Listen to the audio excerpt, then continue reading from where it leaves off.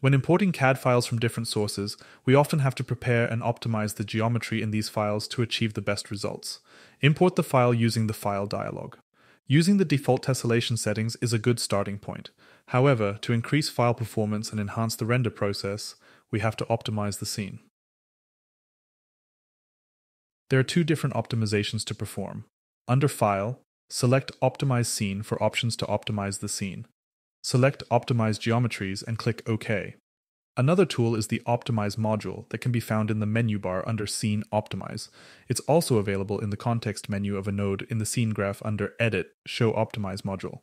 In addition to the default settings, check both flush transformation nodes and cleanup group nodes and click Optimize. This optimizes the scene graph, simplifies transformations, and removes unused nodes in your hierarchy. When selecting a node that contains geometry, the parts will be marked by a bounding box. You can enable wireframe to see all selected components. There are several ways to select and deselect objects. Hold Shift and move the mouse to see which components can be selected.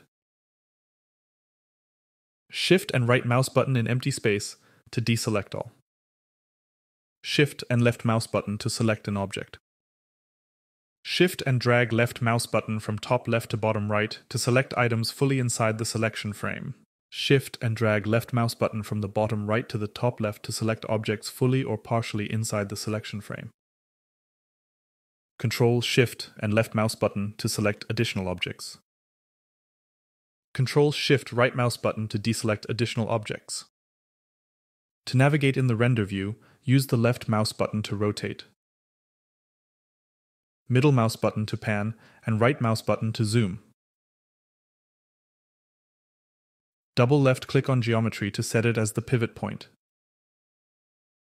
Double right click on geometry to center it in the render view.